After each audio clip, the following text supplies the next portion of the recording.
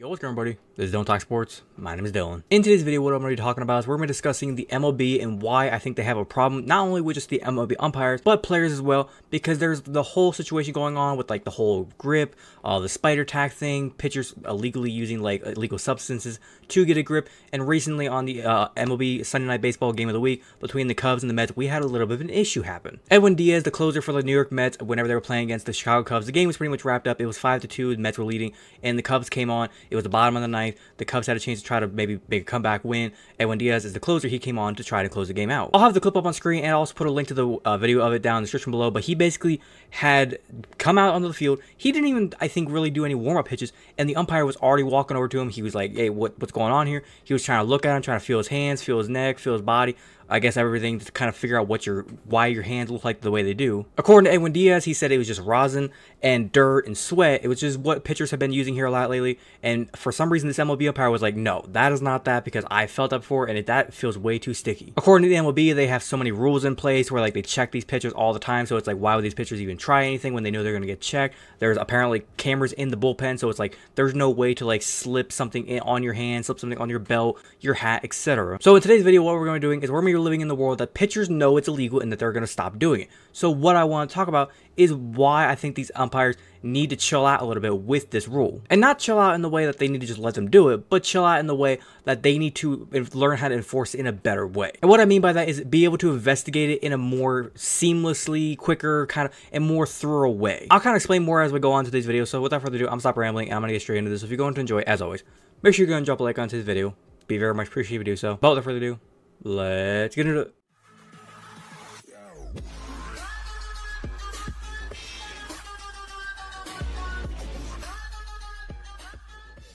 Now, like I said, whenever it came to Edwin Diaz being injected, uh, this was actually said after the game. As for those of you who did not see the uh, whole thing, he was given a 10 game suspension afterwards. Like I said, the umpire said he had something sticky on his hands, and he pretty much said he's got to go. Now, like I said, I understand not using anything sticky, like using like illegal substances, like spider tack was one of the ones, as you can see here, that they're trying to just get out of the game. They don't want you using anything that they deem illegal. And the reasoning why is because it's going to give you an unfair advantage. It's going to make you be able to grip the ball way too uh, precise. And then that kind of started a spark, which I actually like this uh, debate that the pitchers and the players around the league are actually trying to point towards the MLB and say like, hey, maybe you should let us at least use rosin and the dirt and the sweat because this is what it can do. As it says here, pitchers need to be able to grip the ball properly in order to be able to control where they're throwing a dangerous projectile, which I like how they phrase that, and the interpretation of enforcement of the rules is ridiculous. Because basically right now what they're doing is almost like anytime they find anything somewhat sticky on your fingers,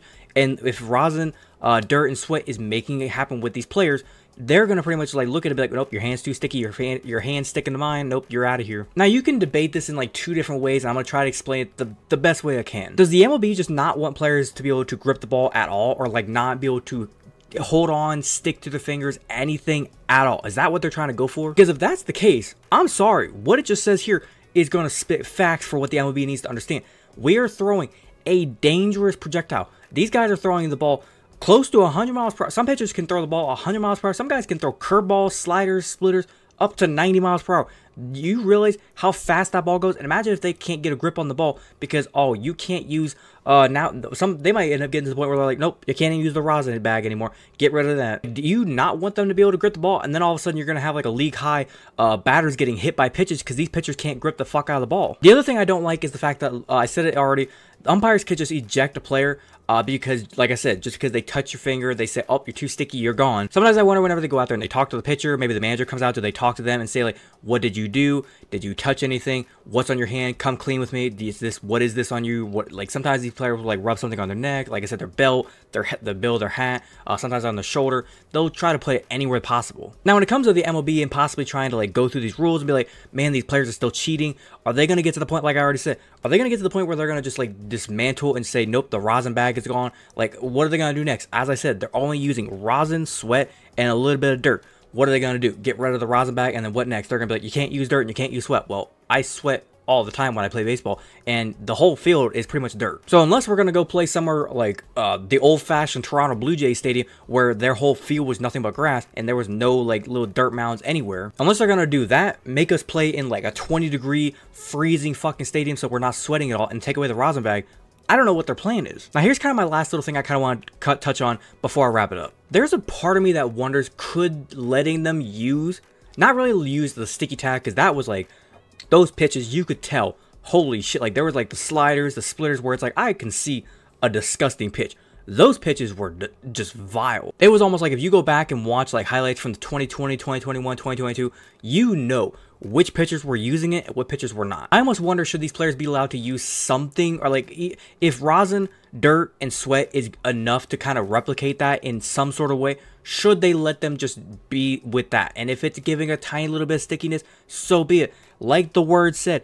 dangerous projectile. When that ball is going 100 miles per hour, do you want your guy, the pitcher, to be like the ball slipping out of their hand, they're trying to control the ball, or do you want them to be able to be precise? And if they're aiming for that inside corner of the plate and the ball comes loose because they don't, they can't get any grip on it, it's gonna fucking drill a dude in the face. Whereas if they do have something and they can kind of get a grip on it, they'll be able to put that ball right where it needs to go. Whether they're going inside, outside, uptown, downtown, wherever they want to put that ball, they can get a grip and they can put the ball where it needs to go. But ultimately, kind of wrapping it up, here's my final points. I think there needs to be changes with I would say just the umpires in the way of how they kind of review and figure out if a player needs to be suspended or not. I almost wonder if like the MLB umpires, if they're the ones reviewing it, should they have like a professional person within every stadium? I realize it's to cost money, but they need to have like a professional person within these league or within the stadiums that can go out and check the player.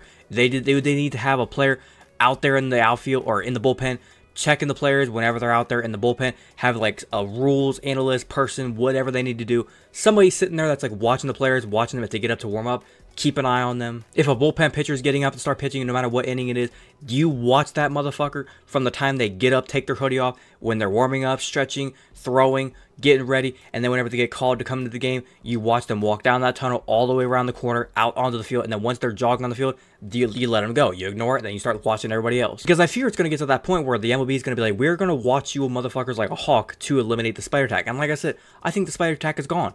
It's just the fact that if these players are truly, like I said, truly using rosin, dirt, and sweat, and they're getting all over in a hissy fit about that, oh, we got problems. Because we're going to get to the point where the MLB is going to be throwing pitchers out for bullshit reasons. And it kind of makes me wonder with Edwin Diaz, if he's getting this 10 game suspension, who says that this somebody couldn't have gone out there and checked after he got this or thrown out of the game? Could somebody been down the tunnel and like checked him again? Maybe get a couple of different opinions, and somebody could have been like, okay, here's what we're gonna do. We're gonna take spider tack, or we're gonna take all these other different substances, and we're gonna put it on our hands, and we're gonna check it, or maybe take take somebody else, take some take somebody who's very sweaty. It's gonna be disgusting, but wipe somebody's sweaty face, get some sweat on your hand, rub it in a little bit of dirt, take the rosin back, pat it around, and then take your hand, compare it to Diaz's hand, and compare the two. If they feel the same, you can be like, oh, sorry, Edwin, you're, you're fine. You're probably still ejected because it'd be kind of awkward to let you go back out there, but your suspension's gone. And if it doesn't feel the same, then you can take the hand that was, uh, I guess you could say the legal hand, and it doesn't feel the same as Edwin's hand, and Edwin's hand maybe feels a little bit more stickier, you could be like, okay, yeah, you might be using something. You're you're you're gone. Like I said, there just needs to be a few changes, and they, they need to get on top of this shit. But other than that, I think I'm gonna wrap it up there. Hopefully, you guys did go and enjoy today's video. If you did enjoy, as always, make sure you go and drop a like on today's video be very much appreciated if you do so. If you wanted to watch the entirety of today's video, thank you very much. And like I said, if you have your opinion, do you agree or disagree with anything I said? What do you think about the MLB and like how they're kind of doing this whole thing with the uh, sticky substances? Do you think they need to make some changes? Do you think they need to uh, crack down more on it? What do you think about the pitchers? Do you think they're still cheating, not cheating? Do you think they should be allowed to use, like I said, the rosin dirt sweat? Do you think that's fair? Whatever you're, or if you're hearing anything different that I'm hearing, whatever opinion, maybe whatever comes to the whole situation, leave your complete opinion and anything you're hearing down in the comment section down below. Be more welcome to talk about with you guys. If you're a fan of the content that I do poster and you want to go and hit that big red subscribe button, feel free to do so. And do not forget to hit that little notification bell to be notified second I post. But without further ado, this has been Dillon Talk Sports. Have a great day. Peace.